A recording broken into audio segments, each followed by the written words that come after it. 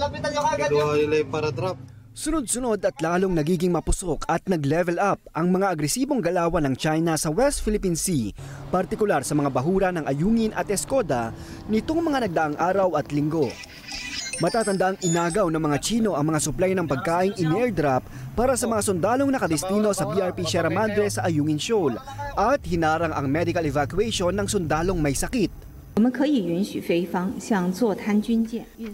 Nang tanungin tungkol dito, iginiit ng Chinese Ministry of Foreign Affairs na kailangang maagang magabiso ang Pilipinas para payagan ang delivery ng supplies at evacuation sa ayungin. Bukod sa ayungin, nagpatintero rin sa dagat at binangga ng China Coast Guard ang mga rubber boat sa Escoda Shoal. Bukod pa ito sa mga di-otorisadong naval drills at pag-deploy ng chopper at dalawang hovercrafts doon na ngayon lang nakita sa West Philippine Sea. Ayon sa maritime law expert na si Professor J. Batong Bakal, maaring idokumento ng pamahalaan ng mga insidenteng ito bilang basihan sa isasampang kaso laban sa China. Marami talagang pwedeng kaso, pwede mong himay-himayin yung arbitration, no? Ah, at lahat ng mga na sabi na ng, ng arbitral tribunal na mali ng China, hanggang ngayon ginagawa pa rin nila eh. Idagdag na rito anya ang pagkasira ng mga coral at yamang dagat sa iba-ibang lugar sa West Philippine Sea. Nauna nang isinisi ng Philippine Coast Guard sa China ang tambak ng patay at durog na coral sa Escoda. Nababahala si Professor Jonathan Andicamara ng UP Institute of Biology sa estado ngayon ng Bahura na inilarawan niyang isang ecological disaster. It's a little bit worrying uh, because of the extensive damage of corals underwater.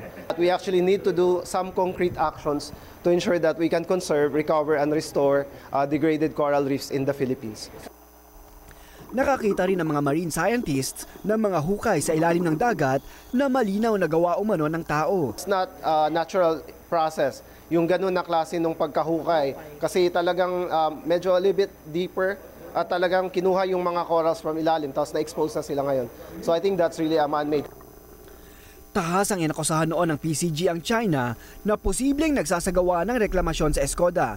Pero ayon sa mga eksperto, walang malinaw na indikasyon ito. Posibleng natural. Ah, Kung madaming mga basag na corals nandyan ngayon, gaya ng pagkamatay ng mga corals sa Escoda, I would expect na kung hindi ito mapupunta sa ilalim ng dagat, ah, yung mga coming na typhoon or ditong season na to na tagulan na, tagbagyo na, most likely itong mga rubble na to mag-pile up and there will be a natural piling up. Yung pinakita ng ilang mga areas, pwedeng naturally form yun. Kasi nangyayari din talaga yun. No?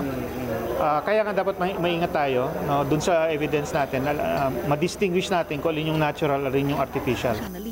Nauna nang itilanggi ng China ang reklamasyon sa Escoda. Sa harap ng mga bagong insidente ng tumitinding tensyon at komprontasyon sa West Philippine Sea, nagbiling si Pangulong Ferdinand Marcos Jr. na hindi sasabak ang Pilipinas sa gera o magsisimula ng away.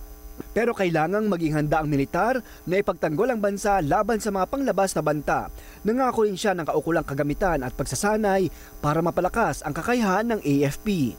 Michael Delizo, ABS-CBN News. Tuloy-tuloy po ang ating pagpapatrol sa bayan mula lunes hanggang biyernes sa TV Patrol. Alas 6.30 ng gabi hanggang Sabado at Linggo sa TV Patrol Weekend. Sa bago nitong oras, alas 5.30 ng hapon.